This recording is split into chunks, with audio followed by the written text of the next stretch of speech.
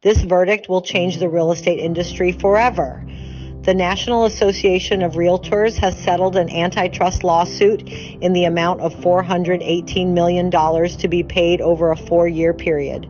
Up until this point, sellers have been the predominant parties paying the entire commission in a real estate transaction.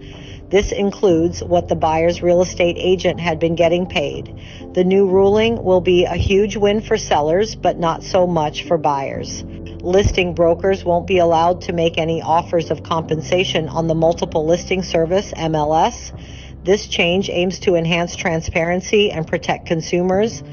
Buyers brokers must now disclose their expected commission and the services they provide in written agreements. This ensures clarity for both the buyer and the seller. As a real estate broker for 20 plus years, I think this has been long coming. While I love real estate, the commission structures have always been something I haven't been fond of.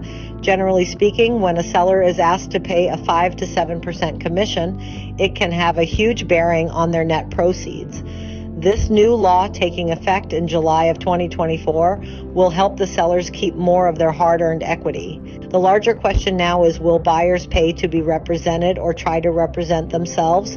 I believe there is a huge benefit in hiring an experienced realtor, and time will tell what kind of fees will be charged by both parties and how realtors will change their business methods. I'm happy about the change. In the long run, I believe it will give more credibility to realtors with the added transparency and protection of consumers.